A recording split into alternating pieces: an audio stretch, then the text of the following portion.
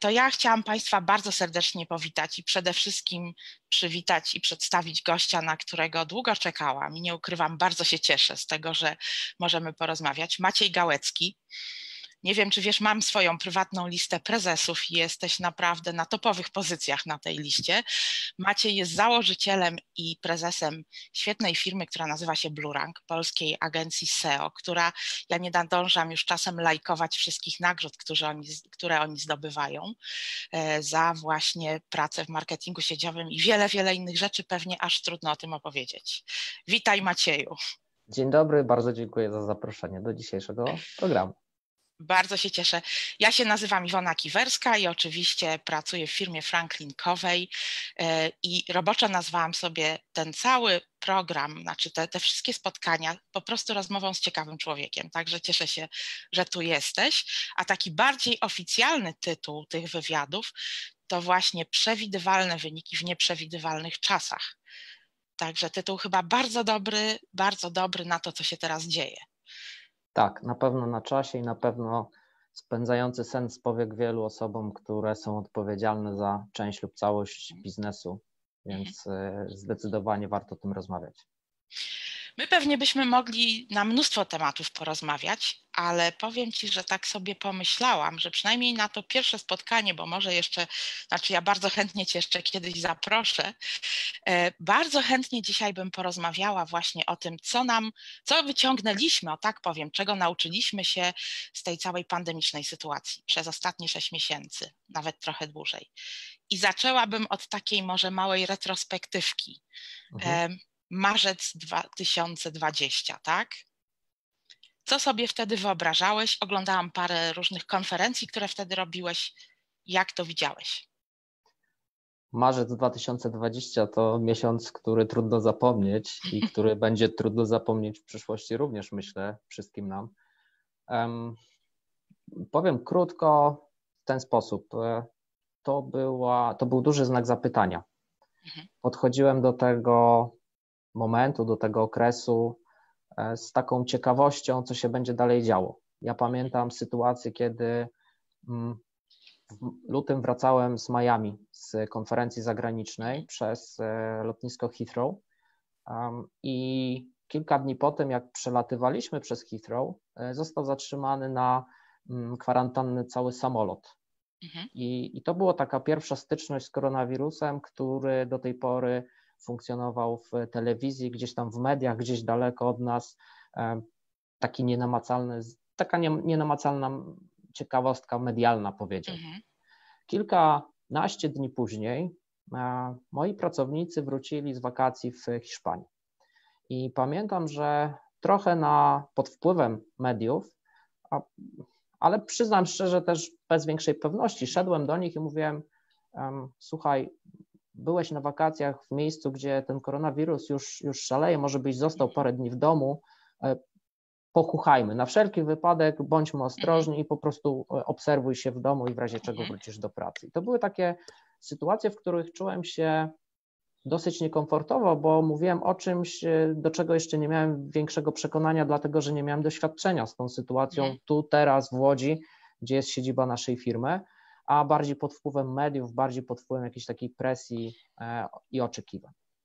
I kiedy przyszedł, przyszła połowa marca, kiedy już faktycznie koronawirus e, pojawił się w Polsce i kiedy pojawiły się pierwsze decyzje administracyjne co do zamknięcia mm, czy wprowadzenia obostrzeń związanych z naszym codziennym funkcjonowaniem w rzeczywistości, w otoczeniu, to był taki moment, kiedy zadałem sobie pytanie: no dobrze, dzisiaj na przykład mamy zakaz pójścia do biura, korzystania z naszej powierzchni biurowej, a mamy nowe biuro od stycznia, więc tak. to jest też trochę tak, jakby się dziecku zabra, zabrało e, czekoladę hmm. albo, albo hmm. jakąś nową, fajną zabawkę. Hmm. Dokąd to nas doprowadzi? Jeśli dzisiaj zamykamy biura, jeśli dzisiaj mamy siedzieć w domach, to e, co będzie dalej? Mhm. Czy będą sklepy otwarte, czy będziemy mogli mhm. normalnie funkcjonować, jak przetrwamy? I mówię to z perspektywy osoby, która właściwie takich doświadczeń życiowych nie ma. Ja mhm. jak przez mgłę pamiętam stan wojenny, mhm. gdzie, gdzie pewnie tego typu ograniczenia mogły funkcjonować. Jestem 79 rocznik, więc to są naprawdę bardzo pojedyncze migawki. Mhm. mhm. a poza tym życie biegło tak. w sposób niezakłócony i to przełożenie tego na biznes, przełożenie tego na decyzje związane z tym, jak zadbać o dobrobyt i bezpieczeństwo ponad 120-osobowego zespołu, mhm. to były takie duże znaki zapytania, które stawiałem sobie i na które rzecz jasna nie znałem wtedy mhm. odpowiedzi. Mogłem działać wyłącznie na bazie trochę intuicji, trochę doświadczenia, trochę racjonalnych decyzji opartych o liczby, ale wciąż w takim poczuciu, że nie wiem, dokąd nas to zaprowadzi. Mhm. Nie mówiąc o sytuacji, na którą nie mam wpływu, czyli tego, jak się będzie rozwijała cała pandemia, jakie decyzje administracyjne będą podejmowane, jak zareagują nasi klienci. Więc y, podsumowując, mhm. duży znak zapytania, ale jednocześnie też taka ciekawość, w którą stronę to będzie zmierzało. Nie bałeś się? Nie, nie miałem poczucia, nie miałem mhm. poczucia strachu. Ja jestem osobą, która dosyć długo mm, jest opanowana i mhm. ma, wychodzi z założenia takiego poczucia kontroli sytuacji. Dopóki mam mhm. informacje, dopóki jestem w stanie je przeanalizować i podjąć decyzję, która w moim przekonaniu jest optymalna, a to strach mi się nie włącza. I, I tutaj być może, być może gdyby te rzeczy E, te restrykcje, te decyzje następowały szybciej, gdybyśmy mieli takie poczucie chaosu, mm, być może tego typu odczucia by się pojawiły, ale, ale dopóki mhm. wiedziałem, że robię to, co umiem robić najlepiej, jak umiem, to, to, to czułem i czuję się cały czas komfortowo. Mhm.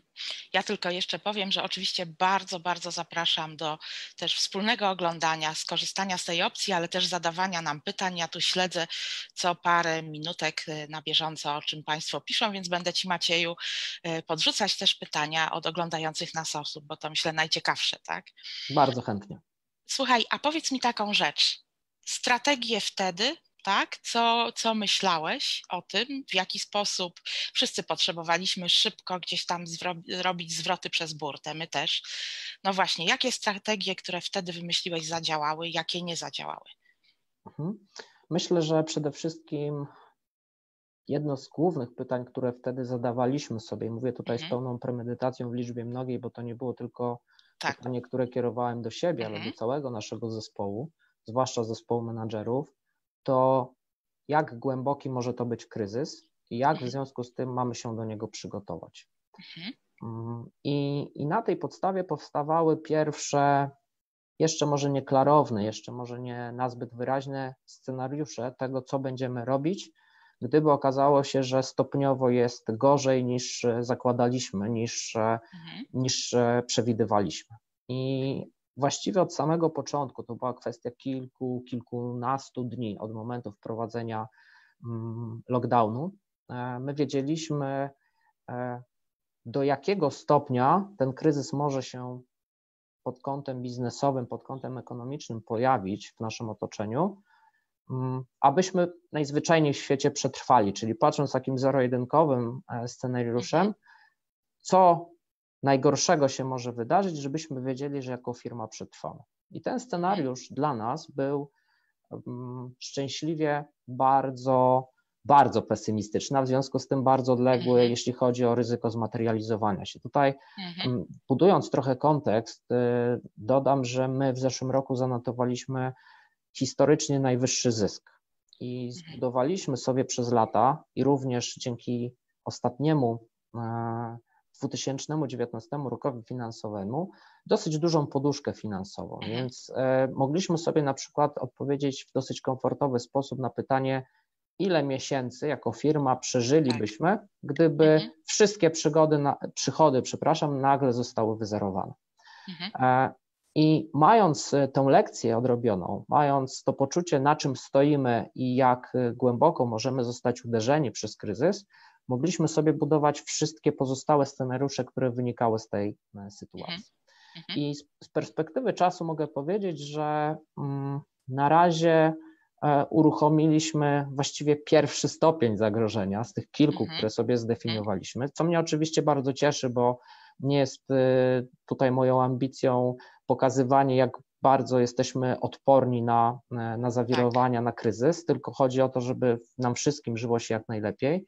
I, i, i cieszę się, że, że kryzys do tej pory mm, dotknął nas w tak niewielkim stopniu, aczkolwiek na co dzień w naszej pracy ewidentnie to mm, jest widoczne z perspektywy każdej, każdej osoby. Tak więc wracając do tego Mhm. pytania, scenariusze strategiczne, które w miarę szybko jesteśmy w stanie uruchomić, to była ta podstawowa mm, aktywność, którą wykonaliśmy. Przedstawiliśmy ją do zespołu i potem na bieżąco realizowaliśmy jeden z tych scenariuszy, który był najbardziej adekwatny do sytuacji, która się rozwijała. E, inne mm, przemyślenia, inne decyzje mm, raczej e, traktuję w kategorii pomysłów, działań, które odłożyliśmy na półki, one czekają, podobnie jak scenariusze do realizacji, niż czegoś, co okazało się być zupełnie inne, niż czegoś, co okazało się być błędem. I z tej perspektywy też mam poczucie, że my wspólnie jako zespół bardzo dobrze prze, przerobiliśmy wszystkie Mhm. informacje i dane do nas spływające i po prostu zrozumieliśmy, co się dookoła nas dzieje. Jesteśmy w stanie wciąż podejmować racjonalne decyzje. Ja też pamiętam, bo, bo jestem bardzo ciekawa, jak widzisz, co to wszystko zmienia, tak? Jak bardzo się zmienia sytuacja, też warunki pracy. E, I ja powiem Ci, że pamiętam taką naszą rozmowę gdzieś półtora roku temu, właśnie jak byłeś w trakcie już finalizowania nowego biura, nowego pięknego biura. E, I pamiętam, że dzieliłeś się ze mną takim pytaniem, które dostałeś od właściciela budynku, żebyś przedstawił mu e, swoje przemyślenia, jakie prognozy masz na to, ile przestrzeni będziesz potrzebował za 10 lat. I to, to było niezwykłe, bo ty, ty mówiłeś, że właśnie ty nie ma, że to jest strasznie trudne dla, zadanie dla ciebie, bo bardzo ciężko jest w ogóle określić, jak ludzie za 10 lat będą pracować. Nawet bez covid że być może większość pracy zdalna, tak? Że być może e, w ogóle zupełnie ten, ten rynek pracy się zmieni. Więc jak to widzisz teraz? Jak zmienia się rynek pracy? Oczami zacznijmy najpierw pracodawcy. Tak, tutaj dotknęłaś e, kilku bardzo ciekawych wątków i chyba najprostszym stwierdzeniem, jednocześnie wspólnym mianownikiem dla nich będzie Mhm. to, że mm, pandemia przyspiesza wszystkie zmiany. Mhm. Przyspiesza wszystkie zmiany Mhm. na drodze do nowej normalności, jak Mhm. y, no, taki buzzword y, pojawił Tak, się, ja jestem tak. jego zwolennikiem i, i, i faktycznie uważam, że nie wrócimy do tego, co było przed marcem, tylko pojawią się pewne trwałe zmiany, zachowania, nawyki, postawy, z którymi. Potrzebujemy się wszyscy zmierzyć, jako pracodawcy, jako pracownicy. I faktycznie z perspektywy organizacji pracy w naszej firmie, a my Mhm. jesteśmy e, agencją reklamową, tak mówiąc najprościej, Mhm. operującą wyłącznie na wirtualnych usługach i, i produktach. Nasze, nasze Mhm. usługi nie mają charakteru materialnego, a więc e, najzwyczajniej w świecie wystarczy nam komputer, trochę prądu i trochę internetu, żeby móc Mhm. wykonywać swoją pracę. To po co to biuro wynajmowałeś? Że zadam przekorne no pytanie. Właśnie, no właśnie. Mm, To pytanie jest zasadne, mm, Mhm. ale myślę, że wróćmy Mhm. do niego w dalszej części naszego, Dobrze. naszej rozmowy, bo to jest też wątek, na który chciałbym trochę czasu Mhm. poświęcić i po- postaram się najpierw odpowiedzieć na to pytanie, które przed momentem zadałaś. Myślę, że z naszych obserwacji, a dzisiaj mamy 16 października, jesteśmy w przededniu albo w trakcie tej drugiej fali e, pandemii, więc też Mhm. pytanie, co, co, co będzie za chwilę, ale na dzień dzisiejszy to, co wiemy, to to, że praca, organizacja pracy w rozumieniu zmiany z pracy biurowej na jakąś inną formułę Mhm. pracy już jest, y, to już jest postanowione, to już jest za nami i, i, i tak po prostu będzie. Nie wrócimy do pracy biurowej takiej, jaką znamy sprzed kilkunastu miesięcy. W naszym przypadku to było siedzenie w biurze i 20 dni pracy zdalnej w ciągu roku, czyli w uproszczeniu Mhm. mówiąc, każda osoba mogła około jednego miesiąca w skali roku przepracować zdalnie. Mhm. E, Ta, ta proporcja na pewno e, się zmieni, na pewno będzie więcej pracy zdalnej. No i tutaj myślę w tym momencie, takie są nasze doświadczenia i takie są doświadczenia mm, prezesów, zarządów firm, z którymi rozmawiam. Tutaj trwa dyskusja, jaki powinien być balans pomiędzy pracą w biurze a pracą poza biurem. E, Stosunkowo często spotykam się z odpowiedzią, że praca wyłącznie zdalna to jest w tym momencie moda i taki trend krótkookresowy, który długofalowo nie zbuduje takiego poczucia i komfortu po stronie i pracodawców, i pracowników, Mhm. by miał szansę się utrzymać. E, Oczywiście teraz generalizuję i na pewno Tak. będą branże i wycinki mm, Mhm. sektorów, gdzie praca typowo zdalna albo wyłącznie zdalna absolutnie działa i będzie działała i co do tego nie ma wątpliwości.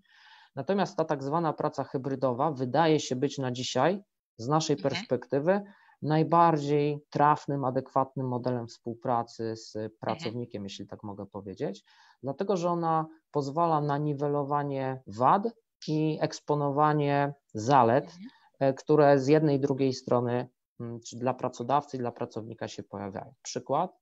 Z jednej strony pracownicy w pracy zdalnej e, deklarują, że są bardziej efektywni, że się mogą bardziej skupić na pracy koncepcyjnej, kreatywnej, na pracy wymagającej długiej koncentracji na jednym zadaniu, przygotowanie prezentacji, przemyślenie strategii mhm. jakiejś kampanii reklamowej i tak.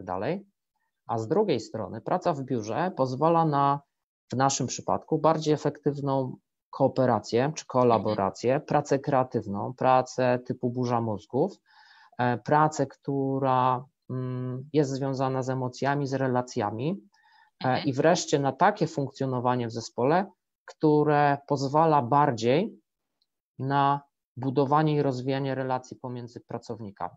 Mhm. Ja jestem gorącym zwolennikiem, nie jestem psychologiem, nie mam w ogóle takiego wykształcenia, bazuję wyłącznie na swoich obserwacjach mhm. i praktycznym doświadczeniu. Jestem gorącym zwolennikiem tego, że e, człowiek jako istota stadna potrzebuje poczuć, a nie tylko widzieć drugo, drugiego, mhm. drugiego człowieka właśnie w monitorze, czyli mhm. jeszcze w wycinku.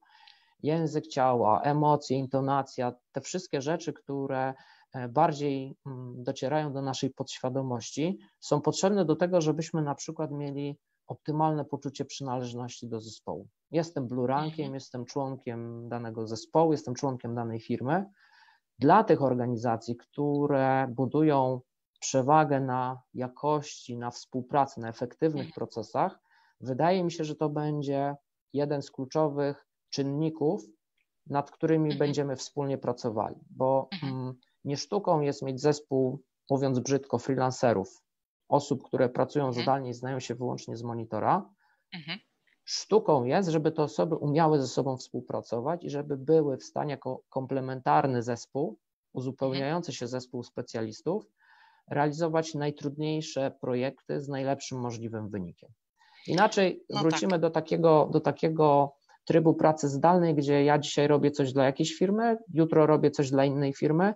Jestem osobą widzącą wycinek całego procesu, mhm. skupiam się na swoim wycinku, a de facto nie interesuje mnie wynik całego procesu. Ja się bardzo obawiam, mhm. my bardzo stawiamy na jakość. Mhm. Ja się bardzo obawiam tego, że dezorganizacja pracy wynikająca z trybu pracy zdalnej po prostu negatywnie wpłynie na jakość, którą dostarczamy dla naszych klientów. No właśnie, takie wypowiedzi, z którymi ja się często spotykam, to to, że ludziom po prostu brakuje zwykłych, e, że tak powiem, small talków przy maszynie do kawy, tak, przy ekspresie do kawy bo to niby nic, a jednak to właśnie nam daje no, no to coś, prawda? To poczucie, że, że my jesteśmy częścią większej całości. To zdaje się dużo. I ja myślę, że wiesz, że jak sobie czytam to e, różne rzeczy, to, to ta praca zdalna, my już chyba nie jesteśmy w fazie zachłyśnięcia tym. Hmm, oczywiście generalizuję, ale raczej już widzimy plusy i minusy. E, już jakby odczuwamy na własnej skórze, tak? Choć z drugiej strony dzisiaj też ciekawą rzecz przeczytałam, że podobno jeden z produktów, który teraz bardzo się sprzedaje w Japonii, to są specjalne namioty, takie do domu, e, wysokości 1,50 m, w które mieści się biurko i komputer, bo ludzie pracując e, właśnie z domu potrzebują się odizolować po prostu. I potrzebują tak. mieć takie poczucie. W pełni się no. zgadzam i rozumiem i doświadczyłem tego sam dwukrotnie, mhm. kiedy kiedy zakładałem Blue Rank, to był 2005 rok, mhm. to była typowa praca z domu. Mm, na jednym z łódzkich osiedli, jeszcze mieszkając wtedy z rodzicami, mając swój pokój, pracowałem i żyłem jednocześnie do, w tym samym pokoju. Mhm. I, I na początku przeżywałem zachłyśnięcie tym, że nie idę do pracy. Wcześniej pracowałem w biurze, mm, nie muszę nigdzie wychodzić, e, wstaję mhm. i pracuję. Jestem też osobą, która potrafi poświęcić dowolną ilość czasu, żeby zrealizować coś, co mnie interesuje, więc mhm. często ten work-life balance to był work balance i może trochę life balance, e, jeśli tak, tak mogę mhm. E, humorystycznie powiedzieć. Mhm. E, I z tej fazy zachłyśnięcia, jak ja jestem skuteczny, efektywny, jak dużo rzeczy mogę zrobić, jak dużo zadań mogę zakończyć, mhm. przyszło zmęczenie. Mm, w moim mhm. przypadku chodziło o to, że, mm, że miałem poczucie, że jestem cały czas w pracy, że to mhm. taka ta pokusa, żeby wstać z łóżka, z tapczanu, z kanapy, sprzed telewizora mhm. i zrobić coś na komputerze, bo właśnie mi się przypomniało, że mogę to zrobić,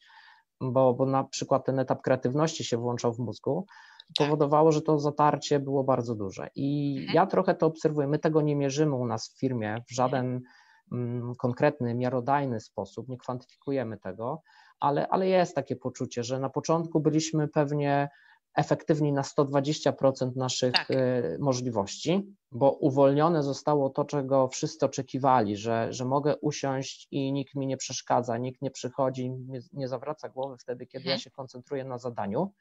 W domu jest spokojnie, e, nie ale w każdym, po... nie w każdym, prawda? Tak, mhm. oczywiście, ale, ale powoli wraca, powoli wraca takie zmęczenie, które na przykład skutkuje tym, że niektóre osoby z naszego zespołu świadomie przychodzą częściej niż wynikałoby to z pewnych nakazów, po to, żeby oddzielić pracę, przestrzeń zawodową i mhm. przestrzeń, przestrzeń prywatną. A skutkuje to też tym, e, ja tu się uśmiechałem, kiedy o tym wspominałaś, o tych ekspresach do kawy wspominałaś, ale mhm. idąc po korytarzu, ja sam widzę po sobie, że czasami zamiast zwykłego cześć, cześć, y, które do, dominowało kilkanaście miesięcy temu, staję, porozmawiam mm -hmm. i, ten, i ten small talk, y, rozmawianie o czymkolwiek dla samego rozmawiania, dla samej przyjemności, mm -hmm. otworzenia ust do kogokolwiek innego niż żona i rodzina, jest. Y, Chociaż pozdrawiamy bardzo, oczywiście.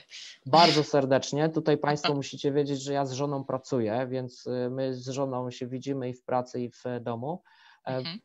z całą sympatią dla rodziny, rozmowa z kimś innym, z kimś, kogo widzi się przez ekran monitora, ale teraz mhm. mogę porozmawiać na żywo, jest po prostu wielką przyjemnością i to widać też po zachowaniach współpracowników.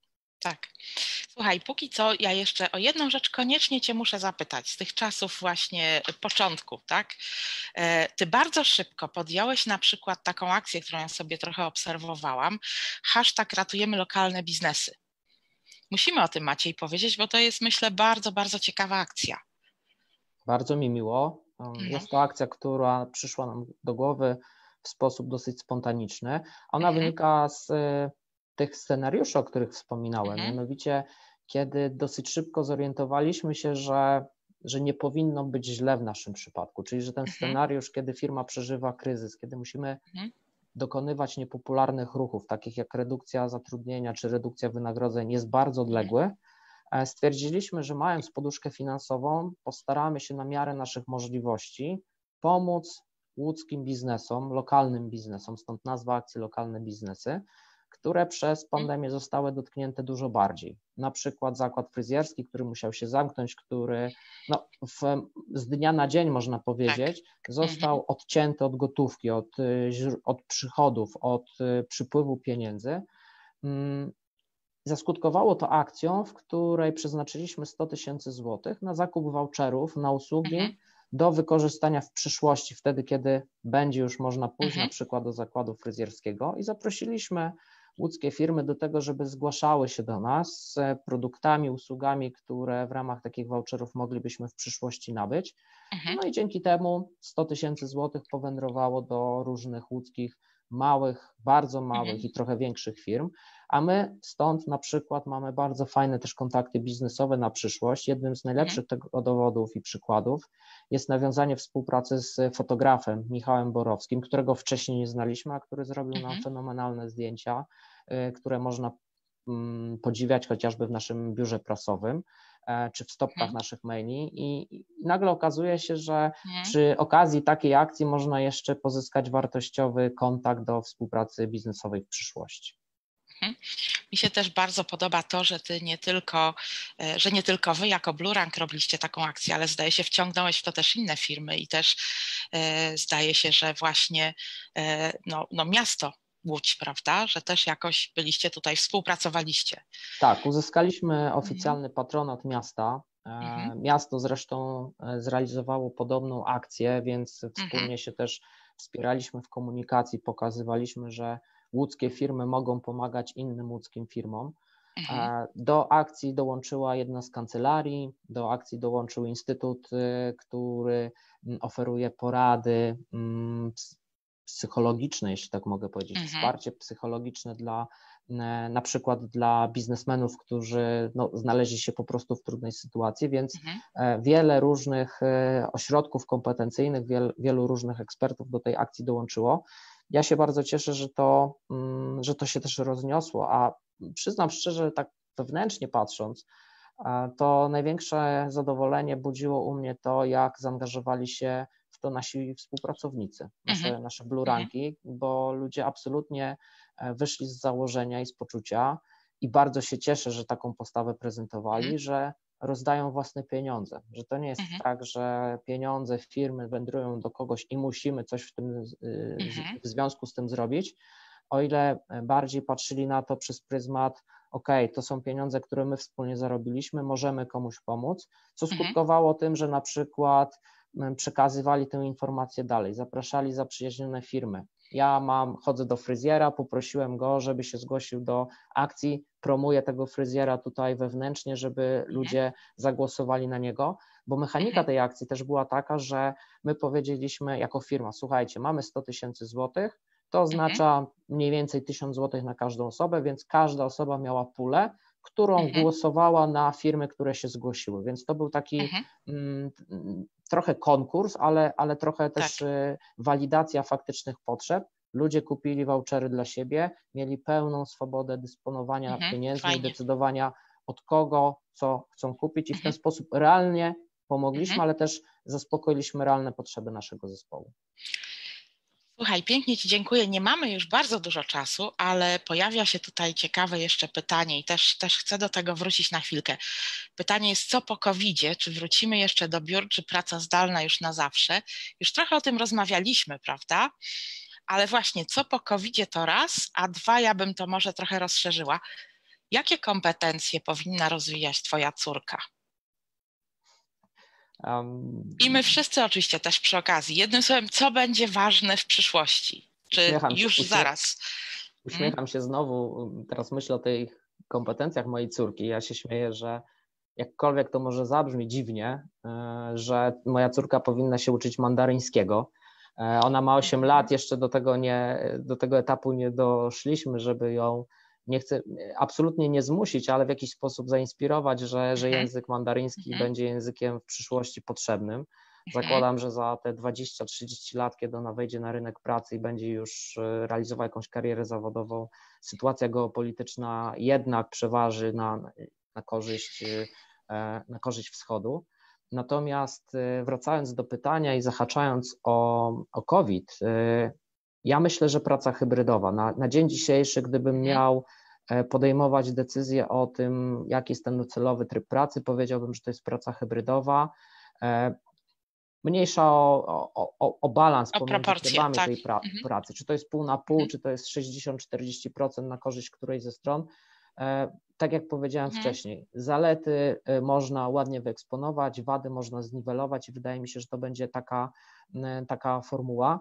E, to też będzie oznaczało, że powierzchnie biurowe przestrzenie zostaną. One mhm. wydaje mi się, że raczej zmienią swoją funkcję. Nie będzie to może y, przestrzeń do pracy, ile bardziej na przykład przestrzeń do jakiejś socjalizacji, do budowania mhm. relacji, do takiego koegzystowania, jeśli tak mogę powiedzieć, w szerokim tego słowa znaczeniu, po to, żeby ludzie się poznawali, żeby na przykład nowi pracownicy, którzy przychodzą do firmy, mhm. mieli szansę poznać swoich kolegów, koleżanki i mhm. E, poczuć tą przynależność do zespołu, mhm. bo budowanie, bo realizowanie onboardingu na przykład opartego wyłącznie o pracę zdalną, e, no, niesie za sobą dużo, dużo większy bagaż e, mhm. Albo ryzyko nie, niepowodzenia.